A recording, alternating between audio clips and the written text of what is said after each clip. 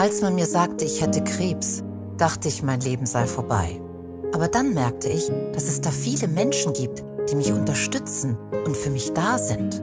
Und das gab mir die Kraft, Mut zu fassen und Zuversicht zu finden. In schweren Zeiten ist gute Unterstützung wichtig.